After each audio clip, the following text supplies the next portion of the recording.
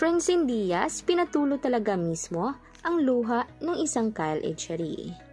Tinry niyang iprank o di kaya'y wag sanang pansinin itong si Kyle kahit na pinapansin siya at nilalambing ito.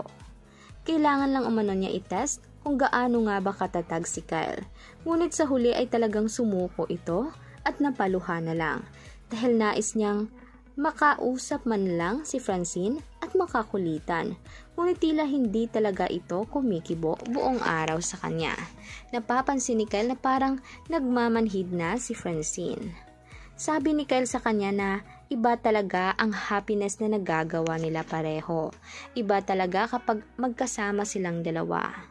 Inamin din naman ni Francine sa huli na parang iba siya kung wala rin naman si Kyle. Ibang-iba talaga ang samahan nila kumpara sa ibang mga bagets na pinagla-love team sa kanya. Alam niyang minsan silang nag-away dahil minsan nang hinusgahan si Kyle sa loob ng bahay ni Kuya na talagang in love umano kay Chi Filomeno. Marami din naman ang nagsasabi na matanda masyado si Chi para kay Kyle dahil ang tanging nababagay kay Kyle ay talagang si Francine Diaz lamang.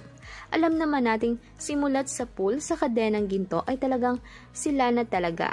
Malakas ang chemistry at talagang masasabi mong bagay na bagay. Kaya sa ngayon ay talagang halos magkasiyahan na silang dalawa dahil sa nalamang okay na talaga ang ugnayan nilang dalawa. Dahil for the past few days ay talagang hindi sila okay. Noong paglabas niya sa bahay ni kuya ay hindi talaga sila nagkikibuan. Parang may selosan na nagaganap sa pagitan nilang dalawa. Kaya kayo mga netizen, boto ba kayo na magkabalikan na ang tunay na kaisin na magpapasaya sa atin muli?